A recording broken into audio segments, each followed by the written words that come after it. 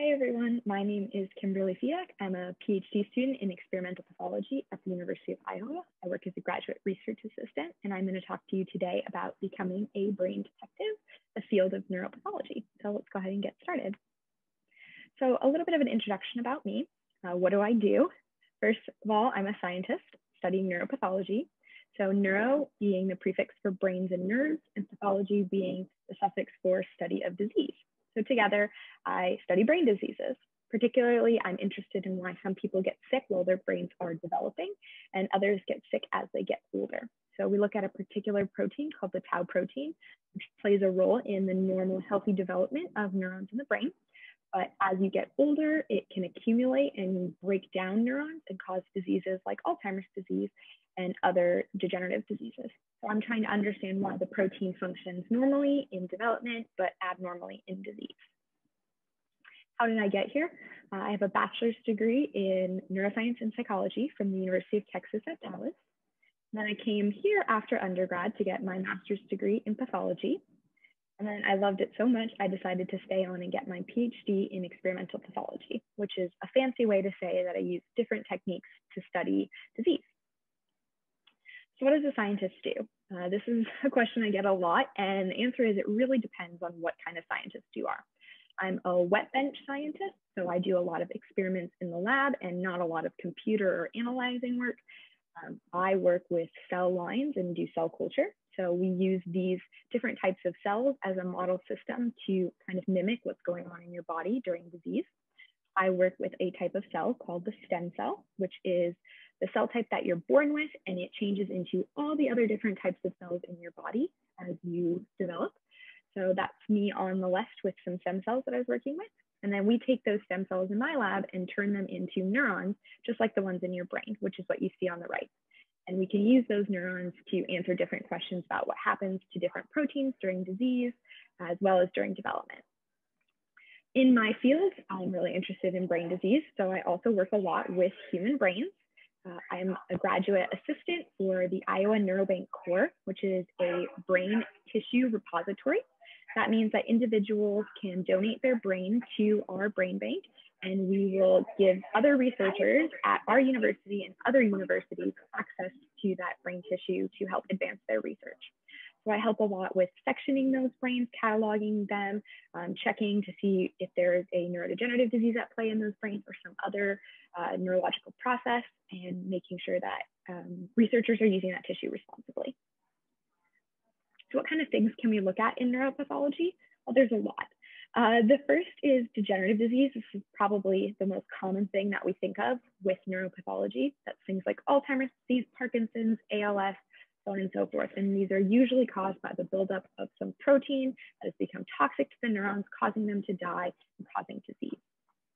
The other really big one in the field is tumors um, or cancers. So there are lots of different types of brain cancer, and they all look different. They have a different morphology or way that they look under the microscope. So we can use different clues in how the cells look and are acting to tell us what kind of cancer is at play. Um, but there are other things that are seen in our field that are kind of lesser known, but very important to study, particularly things like parasites, um, things that can be acquired from your environment that can make their way up to the brain and cause problems. And also viruses are another big thing that can cause neurological issues that we would study in neuropathology. So different careers in neuropathology. The first and probably most well known is the neuropathologist. Uh, this is a medical doctor, so someone who has an MD or a DO that has completed four years of training in pathology and two years of subspecialty in neuropathology. These are going to be the individuals actually diagnosing disease in a patient. So if you ever have a biopsy taken for something, um, some type of tissue, this is the person who's going to be looking at it under the microscope and deciding what it actually is. On the other hand, you have scientists like me these have a wide range of degrees, um, depending on kind of what their interest is in the field. So bachelor's degree, master's degree, PhD, they can also be neuropathologists. So they can also have an MD or DO, or they can just have a PhD or an MS, um, anything like that. These are gonna focus less on diagnosing disease and more on research related to the disease. So they're gonna answer questions like how does a disease actually manifest? What are the causes and consequences of the disease? and what kind of therapeutics or treatments can we create for this disease. So it's going to be a lot more research and answering questions about the disease than it is going to be about diagnosis. And then finally, a lesser known career in the field of pathology, not particular to neuropathology, but just pathology in general, is the pathologist assistant. This is a two-year master's degree obtained from an accredited university, followed by board certification.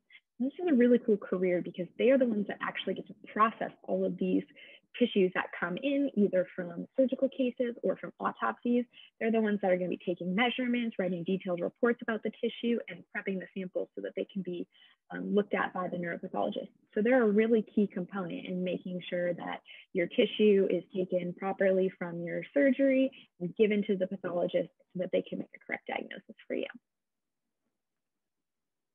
So I'm really interested in becoming what's called a staff scientist. So this is a kind of newer position that started up, and it's essentially an independent researcher in a lab that doesn't have to obtain their own funding. So a lab is typically structured with a principal investigator or PI running the lab. They're the head of the lab. They usually get the grant funding to keep the lab afloat and are also responsible for overseeing all the uh, scientists that work under them. And a staff scientist typically has kind of the similar role of a postdoc, which is what you complete after your doctorate. They are responsible for doing a lot of the hands-on research that helps you get the grant funding. They also can help with managing graduate students, teaching them techniques, and overseeing a lot of the projects in the lab. And then so on after that, you have graduate students and undergrads and so on and so forth. So these are independent scientists that just don't have to necessarily obtain their own funding. The skills needed for this, um, what you would need for any scientist, uh, dedication and perseverance is a big one. You need to be really passionate about what you're doing to make all those long hours really worth it and also make you excited and enthusiastic about your projects. You also need attention to detail. Science is very exact and specific. There's a lot of trial and error to it, but we use a lot of exact measurements. Um, a lot of things need to be at particular conditions in order to work. So attention to detail and organization is a must. There's also a lot of creativity in science, and I don't think a lot of people realize that. Science is a very creative discipline. You have to be able to think about things in different perspectives and in different ways in order to find solutions.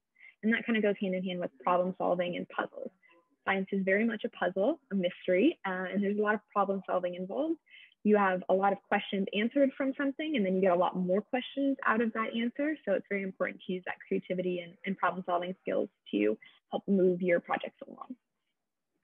The average salary for a staff scientist, depending on where you are and what kind of area of um, science you're working in, would be somewhere between 85,000 and 100,000. Again, it depends on your skill set, kind of your level or how much experience you have and, and where you are. Which brings me to places of employment. There are actually tons of places you can work as a staff scientist, and this is very much a growing career field, which is really great because that means more opportunities are opening up. Um, so some of the big ones would be academia, working in a university lab under a PI, or working in a core facility that would provide services to the whole university. There's also industry, so pharmaceutical companies, startups, product development, things like that. Then nonprofits will often hire staff scientists to work on particular projects that their nonprofit is interested in, or government agencies will also employ staff scientists to kind of help larger projects um, keep moving forward. So how to prepare for the career. Um, everybody's path in science and to becoming a scientist is going to be very different. I'm going to share with you kind of what I did, but keep in mind that your path can look different and that's totally okay. So as an undergrad, I started by obtaining research experience to make sure that I was really interested in doing research as a career. So I worked in different labs, I did internships and kind of narrowed down what specialty or field of science particularly interested in me, which is how I found out about neuropathology. And I graduated with a basic science degree. I did neuroscience and psychology because I'm very interested in the brain, but you could also do anything like biology, you could do chemistry, math, anything like that. Then I went to graduate school and got more experience working with human tissue. For me, I'm really interested in working as part of my job in a core facility. So it was really important to get extra experience working with human tissue so I could handle it properly. So I knew what regions that I was interested in. So I knew um, what proteins and things would be where, and also how to responsibly teach others how to work with human tissue.